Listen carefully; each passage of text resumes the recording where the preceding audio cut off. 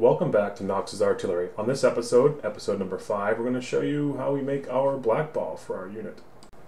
What exactly is black ball, you might be asking yourself. Uh, as you can see from the photograph, it looks somewhat similar to today's modern black shoe polish, although it does differ in several ways, but its use was the same. It was to treat and protect leather and many other things. Thankfully, we have a period correct recipe from this gentleman here, Reverend Charles Beatty, uh, who lived from 1712 until 1772, left us an excellent recipe in one of his many journals. And what Charles recorded reads as such To make curious black ball, to two ounces of fine mutton suet well clarified, one ounce of beeswax, which melt with the suet, then mix with them well, one ounce of ivory black. Then pour it out into any china cup or vessel you like, let it lay until next day, and then knock it out and it will be fit for use. So let's head back to the workshop and begin.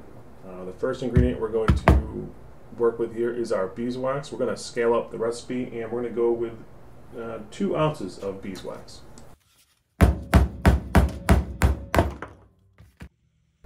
Alright, we'll weigh out our chunk of beeswax, which comes out to 2.4 ounces. It's close enough. We'll get that into the melting pot to start melting. we switch over and get our mutton tallow.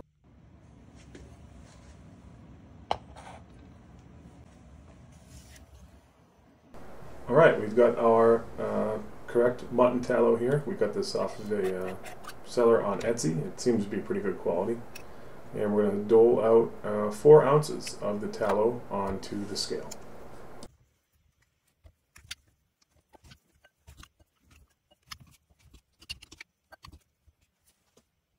And to our two ounces of melting beeswax, we'll add our four ounces of mutton tallow.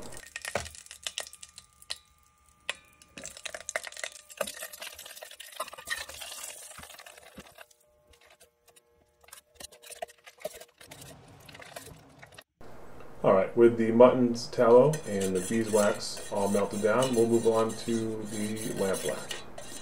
And here we have our lamp black, which we also got off of Etsy. Uh, a real fine powder. It's jet black. It's almost like a coffee toner, and it will stain anything it touches black, so just be careful.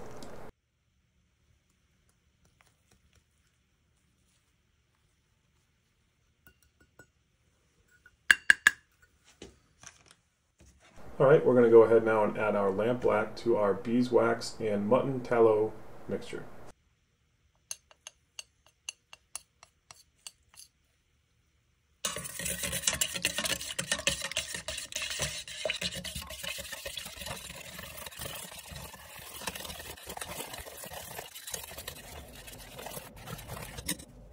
And though we don't have any of the china vessels that Reverend Beatty spoke of, we do have a tinfoil baking tin here that we'll pour the mixture into.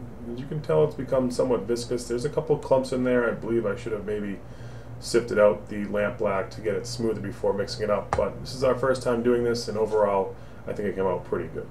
All right, we're going to cover this with a rag and let it sit for 24 hours to set up. All right, it's been 24 hours since we poured our black ball mixture. It's now firmly set. And uh, like I kind of alluded to at the top of the episode, it really looks and feels like a modern shoe polish. And I'm wearing gloves because uh, whatever I touch, it, as you can see here, gets all over my fingers. So I'm trying to keep them uh, somewhat clean. Alright, we're going to go ahead here and break up the black ball into manageable sizes. I'm not going to bother rounding them into a ball. They're going to end up getting rubbed onto leather, so they're going to develop flat edges as they are used.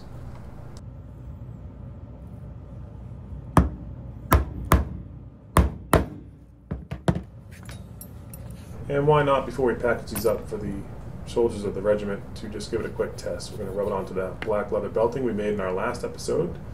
And as you can see there, it goes on, spreads out nice, it works into the leather. Looks like we have a good, usable black ball.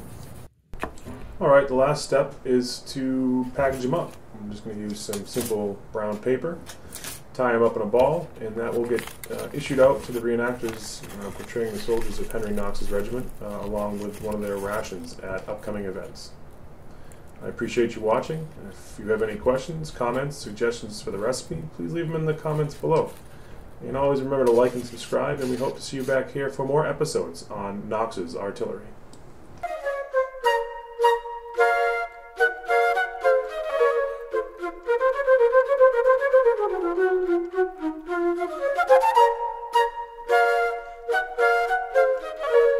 Thank you.